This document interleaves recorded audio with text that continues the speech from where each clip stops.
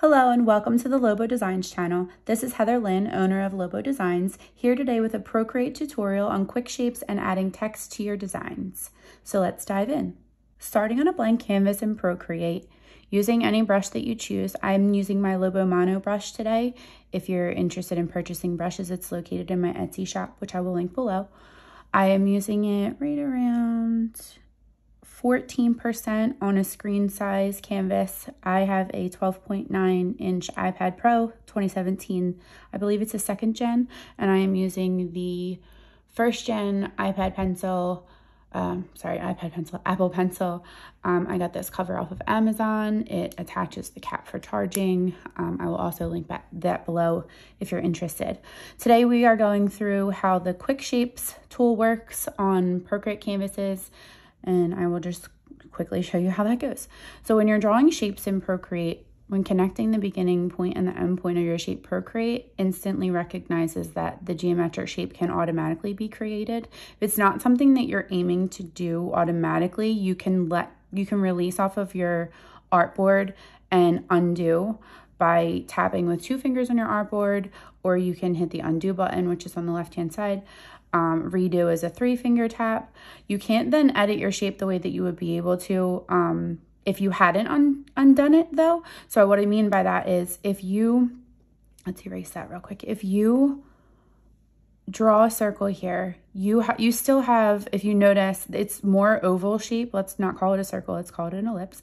Um, it's more of an oval shape right now. Procreate also has a tool built in that if you tap your finger to your screen while you're still editing your shape, it will automatically turn it into the perfectly uh, perfect diameter circle, let's call that, um, if you can see that change. So it goes from an oval to a circle just with tapping the screen. The same works for um, other shapes. I will show you a square you can tap to turn it into a square. Also, when you're editing, um, holding down and works almost like the snapping tool with magnetics. When you're turning to editing, it always does it, I believe, at a 15 degree angle, if you'll see. When you let go, you have full range. And when you're doing shapes that have options, when you release, you'll notice there's a there's an option up top that appears that says edit shape and you can change it to um, the options that it presents for you. So I find that to be really helpful. And while I'm here, I will just quickly show you, um, again, the color drop that you can do with shapes like this. If you wanted to quickly fill this shape, let's just say with pink. Um, actually, let's say blue because that, that's just very pink. And we'll drop that right in the center there. So I find that to be a pretty neat tool. And you can also pick a different shade, a lighter shade if you want to, and drop it into that black to change the outline. So that's a neat tool that I love and I use often. And next we'll hop into how to, how to add text to your artwork. Adding text in Procreate is as simple as going up into the top left wrench icon in the Add tab under Actions, tap on Add Text, and your options will come up in the center. You'll have the ability here to resize the box that you'd like your text to appear in. You'll also have the ability to select the text It'll be highlighted in blue. You'll have a few options up here in the mini menu, but I don't often work in here. What I do is I tap right here in this uppercase, lowercase a.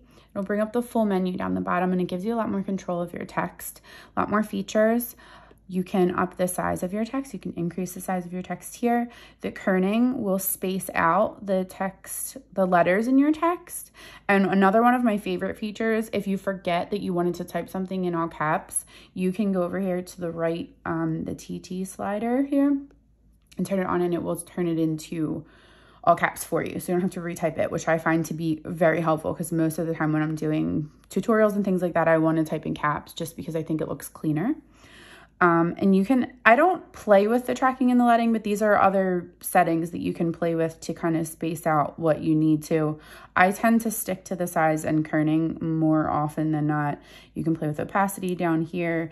Another cool feature, if you're using this for designs, is you can tap right here for outlines and it will create just the outlines of your text versus having it filled in which I find to be fun when you want to do something along the lines of, let's just say, hit the selection tool. Let's make this a little bit bigger. And let's go back to our color drop that we were talking about earlier. And you can actually take these and kind of like the hollow brush that I use in um, my Etsy shop, and I've, I'm sure you've seen on some of my other tutorials, it gives you an internal space to play with in the letters that you can then kind of edit and do what you want to do with. You can change the inside, you can change the outside, you can play with clipping masks and fills to play with the opacity and shadows and pretty much endless possibilities with what you can do with that. So I find that to be pretty fun when you're doing artwork if you want to be able to do shades or colors and mix it up a little bit with colors that you might drop on the inside of text. Um, once you're done, a good note with uh, text editing is once you're done in that screen, that's the editing feature goes out the window. So you you then aren't able to go back in and change what you type. So once you get out of that menu and you've gone in and played with it a little bit, just please keep a reminder in the back of your head that if you were planning on changing that at all, now would be the time to do so because often beyond this step, you'll want to rasterize the text that's in your piece and continue on. So that's adding text. And if you ever want to wipe your, you'll see me do this often when I'm going from step to step. If you ever want to wipe your um, artboard completely clean of what's on there, three fingers and scrub, Whoop, not like that. Three fingers scrub on your screen will erase everything that's on the current layer that you're working on. Uh, and if that does not work for you, you can go up into the settings, uh, the wrench icon and into the preferences tab under gesture controls.